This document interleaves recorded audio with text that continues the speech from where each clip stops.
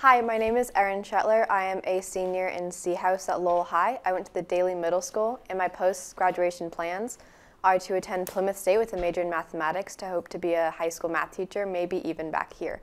For my advice for underclassmen, I recommend that you reach out to people in the school community. There's a lot of amazing resources that we offer at Lowell High, and you should take advantage of those.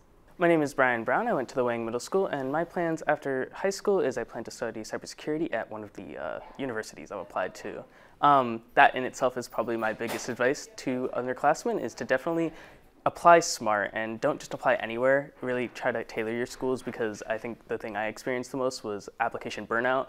It gets a little bit stressful when you're told about all of these different schools that offer majors that you're interested in, and you should really try to go for the ones that you know the most about and do your research. My name is Brianna Bonilla Bartlett. I went to the Argenziano School in Somerville, and my plans after graduation are to attend one of the universities that I applied to as a human development major. Um, my top schools right now are Penn State Honor Campus, but I'm waiting on Syracuse. Um, I chose this path simply for the fact I really want to help people um, as I'm older, but more in like um, a health field. Um, my piece of advice for underclassmen are also to take academics seriously, but also have fun in the meantime safely because although school is very important, it's important to have a social life as well and not let academics take over completely.